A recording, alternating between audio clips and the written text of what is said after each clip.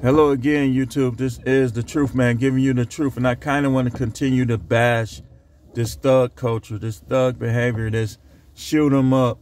They don't give you your stuff, kill them dead. Listen, I know the world is not teaching you about God, but all you got to do is look around and know there's something, somebody created all of this that was more supreme than us. And the devil is keeping you, a lot of you, away from your creative genius. You focus on your failures. You focus on what people told you. Why would you hold on to negative things people told you? Don't you know that misery loves company? So why are you continuing to go to misery's house? You're supposed to avoid misery. Anywhere you know misery is, if you trying to be something in your life, you're supposed to avoid it. And people always accuse you of hating black people, this, that. Like, I've been accused of that because I won't go to certain stores. Like, look, man, I don't want no trouble. I just want to live my life. I don't want to be in no jails.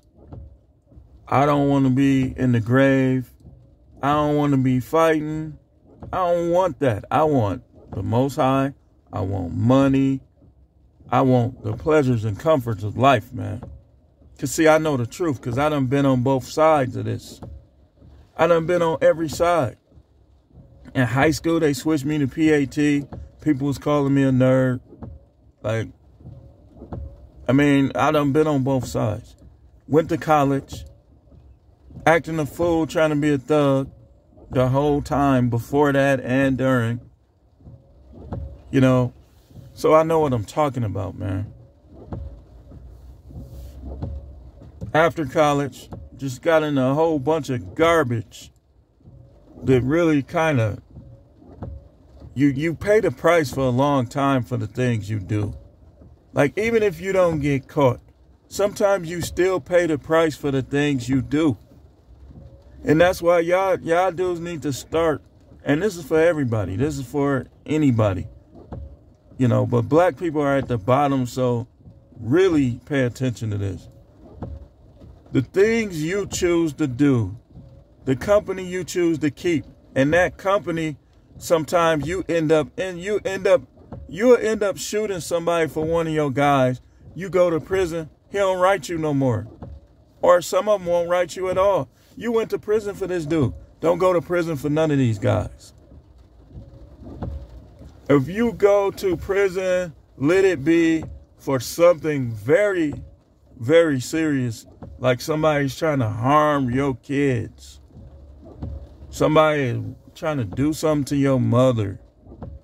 Somebody them tried to do a home. I mean, don't go to prison for fake friends. Cause a real friend is not gonna have you in no conflict. Now it's different if you hang with good guys and something happen.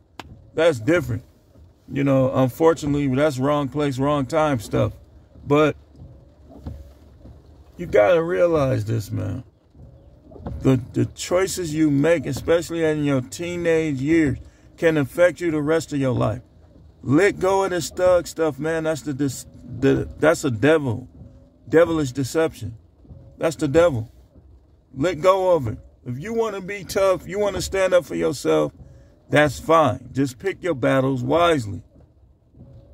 But don't try to live that life, man. You, in fact, if if you gotta move to another state to get away from people you grew up with, family, stuff like that, and stay out of prison, prison ain't a place to be.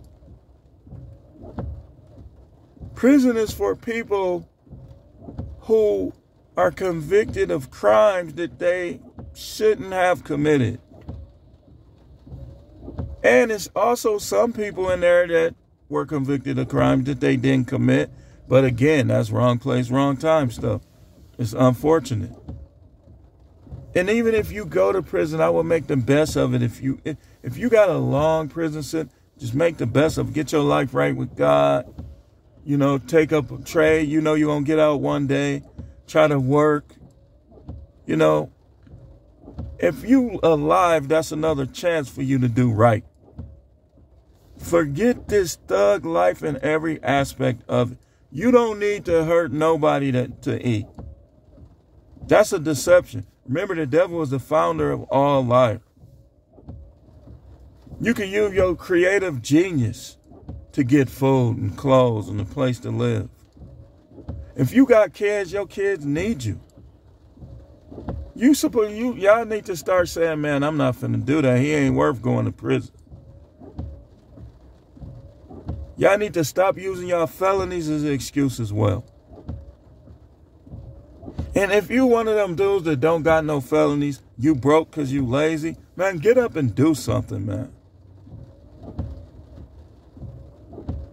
I mean, this stuff is, I mean, we, this is the richest country in the world still.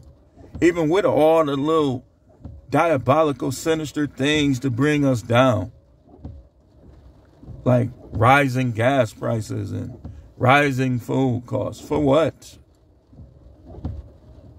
Stop giving money to these other countries and and give that money to these farmers. I mean, we'll have no time to play. Whether it be dating, whether it be your everyday lifestyle in whatever city you live in. Some of y'all dudes trying to make a street rep.